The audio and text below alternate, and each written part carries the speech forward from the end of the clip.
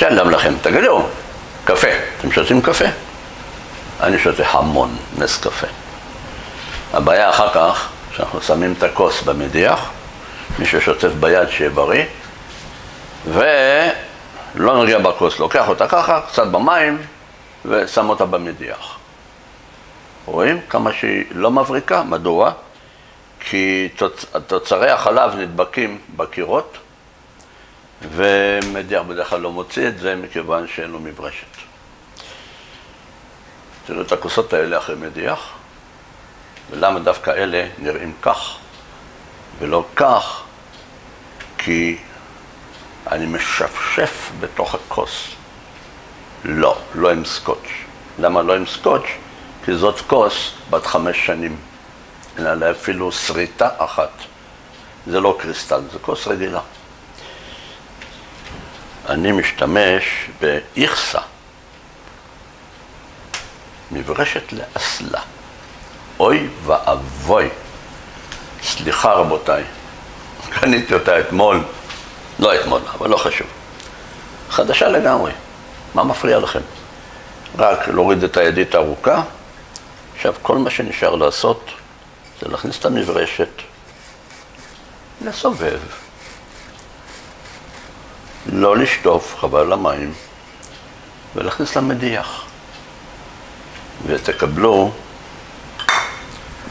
את הכוס הזאת. עוד דבר, וזה נקרא כוס שתייה, אוקיי? שימו לב, גם היא מבריקה. העניין הוא שאפילו אם תשתמשו בסקוץ', איך בדיוק תגיעו למטה?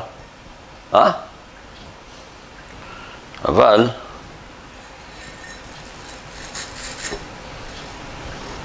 אוקיי? איזה יופי. שום בעיה.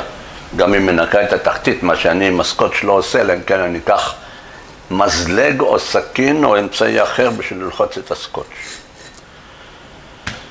עכשיו נעבור לעוד נקודה, והנקודה היא לא שייכת לניקיון, שייכת למשהו אחר.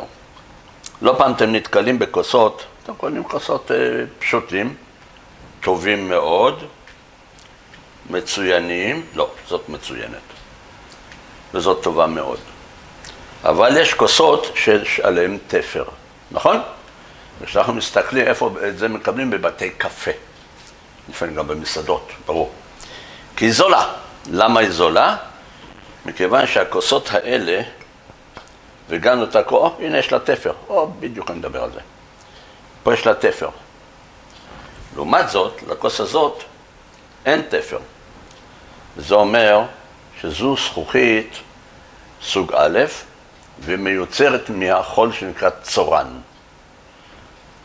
הכוס הזאת, אם נסתכל טוב באור, נראה טבעות, טבעות, טבעות, מעבר לתפר, והיא עשויה מזכוכית ממוחזרת.